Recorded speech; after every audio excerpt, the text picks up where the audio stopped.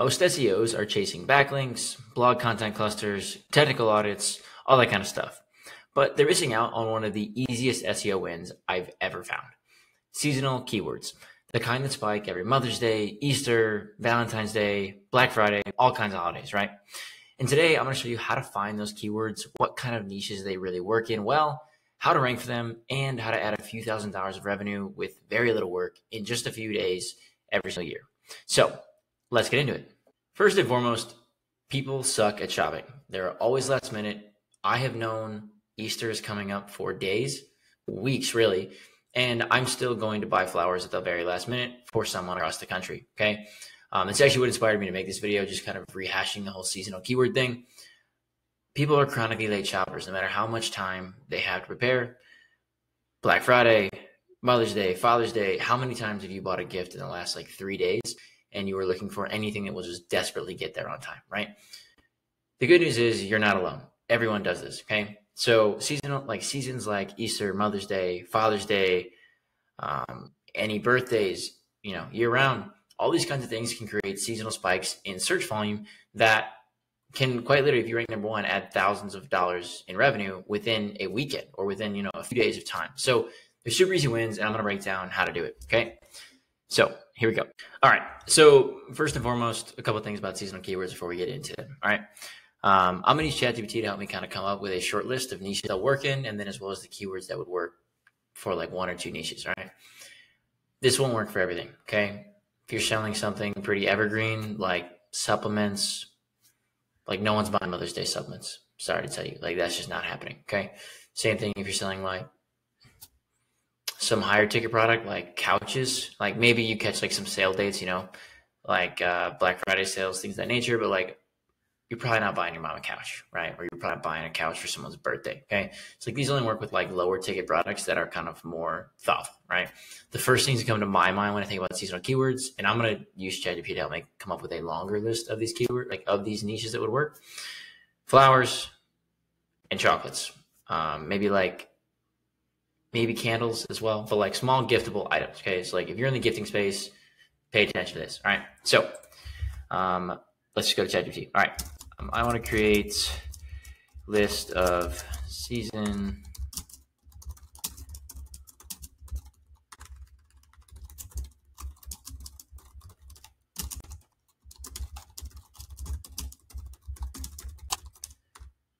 So like I said, flowers, like Easter's Easter is today. Okay. Like I waited to the last minute to send flowers across the country um, to my mom for Easter. Okay. I'm a chronically last minute shopper. These seasonal pages work wonders on me. Okay. I literally Googled Easter flowers my hometown and I bought I bought from the first result. Okay. I am like one of many hundreds of millions of people that are chronically late shoppers. Um, these seasonal pages will not get traffic year round. However, they will spike at the right time. And again, if you rank number one, you're going to make a lot of money. The reason is because everyone ignores these keywords because they're low in search volume, but that's because they're thinking about it in like a vacuum. Okay, they're not they're thinking about the entire year. They're not thinking about how much revenue they can add in a few days. And if you can just kind of separate that, you can make a lot of money. Okay, these are like some of the collections we put together for all of our brands all the time, and it works so well. They will bump like depending on the brand, like we've seen bumps as high as like forty or fifty thousand dollars inside of like a weekend. Um, Black Friday, we've seen jumps like well in the hundreds of thousands of dollars in a weekend. Um, Mother's Day crushes for some products, so it can vary, right? But like don't look at a Mother's Day keyword in Jan- in July and be like, yeah, yeah, it's too low in volume. Well, no kidding, it's July, right? However, fast forward to you know April, May, people are gonna be searching for that, and you're gonna make a lot of money if you rank number one. Okay, so anyway, um, give me a list of other niches or other products this would work for. Okay, so first I'm to give you like a full list. Well, ChatGPT really is to give you a full list of kind of what this would work on. Okay, so I said chocolates and flowers. I bought those season seasonally, so I know they work. Okay, candles, bath bombs, like any beauty like beauty bundles, beauty gift bags work really well. Um, skincare kits, same thing. Tea and coffee. I actually just recently learned that tea is a very giftable product. I didn't know that. I just started drinking tea, which is probably why I didn't know it. Um, gourmet snacks probably works. Um, snacks are really giftable. Obviously, food and beverage is having quite a moment in DTC right now, so these are really giftable as well. Um, and who doesn't like getting food in the mail? That's a great gift. So that works well. So maybe journals, maybe I don't know about those keychains. Probably not. Plants could work. I, like they probably would skew more feminine. I guess most of these gifts would probably skew more feminine than masculine in nature. But either way, personalized mugs probably not. Socks, socks crush. Actually, we work with two sock brands, and they crush on seasonality. Um, artisanal chocolates, yeah, that's the same thing I said earlier. It's chocolate. Um, spring, Mother's Day, yeah, jewelry. Jewelry's actually going too. Um, jewelry is like such an easy gift to get for your mom or your girlfriend or you know the woman in your life. Let's say um, women in your life. Let's say um, jewelry's an easy one, right? As long as you're getting like a not ugly piece of jewelry, they all like it. So you can just like Google, like you can search for seasonal stuff. People will search for seasonal stuff and buy it because it's the right color at the right price at the right time. Okay, so these things kind of work, right? I'm gonna stick with um, I'm gonna do flowers and chocolates because like I'm gonna do flowers and chocolates because those are the two like those are I think the two best of the list we're looking at. Okay, so all right, let's stick on the chocolates and flowers. Okay, so all right, give me a list of every seasonal keyword you can think of for both flowers and chocolates. Um, separate them by, let's say, chocolates and flowers. And within each category, separate them by comma. Reason I'm separating by comma, I just want to paste some SEMrush very easily and see what the volume is I'm looking at, okay? Um, list like every major holiday you could think of, plus seasons and even birthdays, as those can be good. Even something like specific birthdays, like 40th birthday, would be really good. Um, all right, so let's start here. Let's See what chat's got. Okay, flowers. We've got Valentine's Day flowers, Mother's Day, Easter, Christmas, Thanksgiving, Halloween. I'm not reading all these. Okay. 21st birthday, wedding, um, spring, congratulations, housewarming, St. Patrick's Day, teacher appreciation, Chinese New Year, Ramadan. A long list, right? I've seen a lot of flower companies, florists, if you will, um, just trying to rank for something like flower or like the basics. Like they'll just do like, you know, wedding flowers.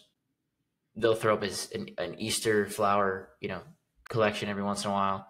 Um, just just the basics, and I think what what not I think what they're doing is is really limiting themselves in terms of search. Okay? Flowers. The only thing I mean, I don't know enough about flowers. By no means am I a green thumb. I've killed a ton of plants in my apartment. However, flowers are really just changing by seasonality to a degree, as well as the color and kind of like the way you display. If you're a florist, you have enough. You have enough. You have a sufficient amount of flowers to pretty much repackage them in any way you see fit, whether it's a happy occasion, a sad occasion, a winter, fall, spring, summer occasion. All these things like you can provide. So you really just are repackaging the same flowers in a different manner. Okay. Now, same thing with chocolate. Chocolate is chocolate. Okay. Package it how you want. It's still chocolate. Valentine's Day is obviously a big spike. Mother's Day is probably good. Easter's fantastic. Halloween's huge all the same things. Okay. So if you're an e-commerce store, like I'm going to show you what the search volume is going to be in SEMrush and how much easier these are to win comparatively to just like floral, like, you know, bouquets or something like, you know, chocolate gifts. Like these are going to be so much easier to win. Okay. So let's just copy the flowers ones and we'll start here. So I'm just going to paste these all into serve or into SEMrush. And we're going to get some volume here. Okay. So I'm just gonna copy all these because it did. Okay, total search volume is 228,000, right? Now, if you can win all 228,000, kudos. That's sick. Okay. However, even so, like you're gonna be better off selling. You're gonna be better off competing on like some of these smaller KDs. Like let's look at some of these easier ones. Like okay, maybe not that one. Um, like proposal flowers, 320 searches a month, KD of three. Prompt flowers, 4,400 a month, KD of six. Proposal is an evergreen thing. Proposals happen all the time. They mostly happen in the summer, so you'll definitely see more of a raise around that point. However, prom obviously happens in like May to June, the end of a high school year. Super huge spike in that time. You can see a huge bump in sales if you're number one, and the KD is crazy easy. Okay. Um, what else is a good volume here? Graduation flowers, same thing. KD of 13, 55, 5400. Again, spiking around May, June, July. Uh, moving down, baby shower flowers, 1300, 17 KD, pretty good. Those are year round as well. So those aren't even seasonal. That's evergreen, right? Um, Halloween flowers, did know that was a thing. 2900, so nearly 3,000 searches a month. KD of 18. Okay, these are all less than 20, and I've just named four or five, and immediately suggested to you nearly 15,000 in search volume that is on the table for a pretty easy picking. Okay, summer flowers as well. That one's probably more competitive than it actually is. Um, but obviously, you can see like there's this huge drop in the huge drop in the winter because no one's buying summer flowers or searching for them. Twelve thousand as well. Christmas flowers also huge spike again. Christmas, summer more seasonal than something like um, you know baby shower, but I'm telling you, like if you're a florist or a flower company, I'm like you should create a collection for every single holiday that you could possibly exist, like that could possibly exist. Okay, people you're selling flowers. Like you can just re- keep repackaging them in different ways, in different colors, different arrangements, different numbers, whatever, just to suit this particular kind of, you know, this particular need for someone buying flowers, right? Now, it, it's gonna be, it's going to be theoretically great if you rank number one for like, you know, birthday flowers, right? That's me a couple thousand searches a month, sweet. But let's say you also rank for 30th birthday flowers, 40th, 50th, 21st, 18th, whatever, like now you're stacking even more volume up, and those can, and those pages because they're a longer tail keyword are going to convert it at an even better rate.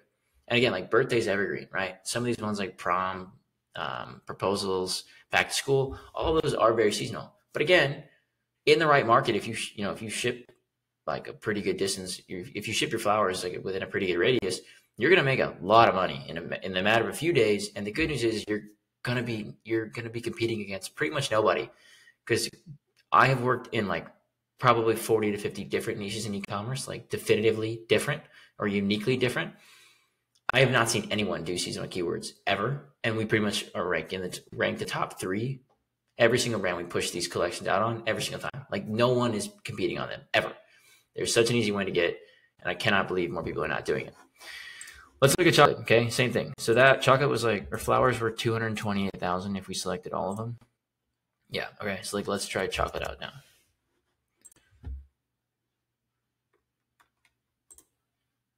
Okay, sixteen thousand. Not nearly as glamorous as um, flowers. And I also just learned this is the first time I, for Easter, first time I bought flowers um, online in quite some time. Flowers are an extremely profitable business. It looks like. Um, it's wild to me that I have to pay ninety dollars to ship flowers um, a few miles away from my house, but here we are. Um, chocolates are good as well, though. Obviously, some big spikes as well. Fall, sympathy, those are kind of evergreen, I guess, in a bad way. Um, anniversary, anniversary is great. Every man on earth forgets their anniversary. A lot of women do, obviously, as well. Um, anniversary chocolates can provide nice kind of spikes year round. It's great. Um, anniversaries typically around seem to be around holidays, as that's when a lot of people kind of commemorate their relationship you know, you're all emotional around the holidays, things of that sort. Anniversaries seem to have a tendency around there as well as around summer. Corporate gift chocolates, not a high volume, but corporate gift chocolates are like a multi thousand dollar order. Okay. I used to work with a cookie company many years ago. 40% of their business was done between the days of December 1st to December 31st when Chris when companies were giving out Christmas cookies, like corporate cookies to their clients and also to their employees. So, corporate gift chocolates, low volume, super easy KD means it's easy as hell to win. Average order volume can be in the thousands. Definitely worth creating this one. New Year's chocolates, obviously spikes very definitively around New Year's. Baby shower, um, evergreen, personalized evergreen. If you do that, that's pretty cool. Chocolate party favors, more parties in the summer typically. That's a good one. Um, birthdays evergreen. Halloween probably be a harder one to win than Semrush is leading on, but in any case, Mother's Day chocolates again a good last minute gift. If you're a chocolate company or you're a fl- floral company, I would actually bundle flowers and chocolates in one collection. I would just like third party source whatever you don't have and put like a flower and chocolate bundle together. No joke, when I sent those flowers, I almost spent $45 on chocolate. Almost. I thought about it. I didn't, but I thought about it. Um, I get, I guarantee you get a couple more people on that um, than you would have gotten with me, and your AOV goes up that weekend. Okay.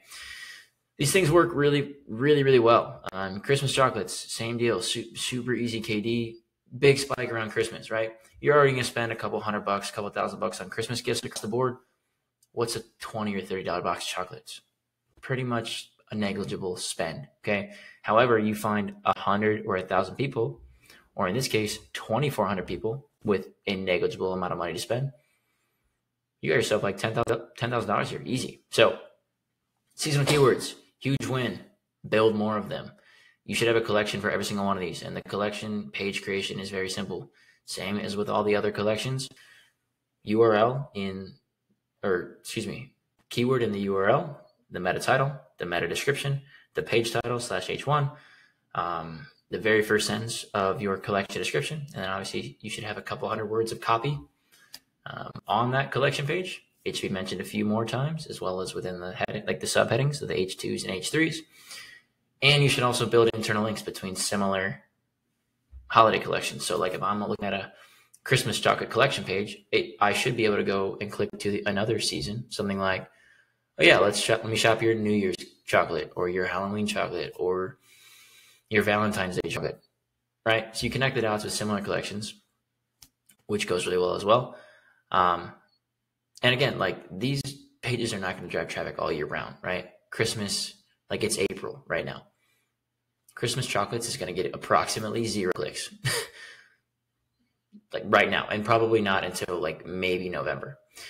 However, once the November, December picks up, easy way to just leverage this page again. Don't archive the URL once Christmas is over.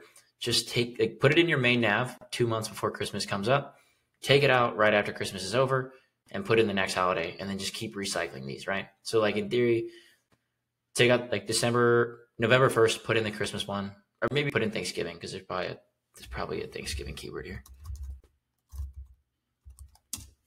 Yeah, so Thanksgiving I would do from like, for example, November to end of November. November 1st to November 27th or whenever the hell no uh, Thanksgiving is. Right after that, put in Christmas. Christmas will run from end of November to end of December. After the, on the 26th of December, maybe even the 25th, put in your New Year's one, leave that one running through like the early part of January. After that, you could do like Lunar New Year, you could do Valentine's Day, Easter again, Mother's Day, Father's Day, you know, all these kinds of things all the time, right? So I'd leave like your evergreen collections, like your evergreen gifting collections in the main nav or at least on the homepage pretty regularly. But the ones that are seasonal, you just kind of need to cycle them in and out because again, you don't need them ranking all year round. You don't care about that. But in any case, I urge you to build more of these. Um, even outside of chocolate and flowers, there are tons of wins to be had. Black Friday, every major kind of Hallmark holiday, every bank holiday, all these things are good. So go with more of them. And if you like this video, follow me on Twitter, follow me on LinkedIn subscribe here, drop a comment, said you liked it, hit my newsletter, all that good stuff.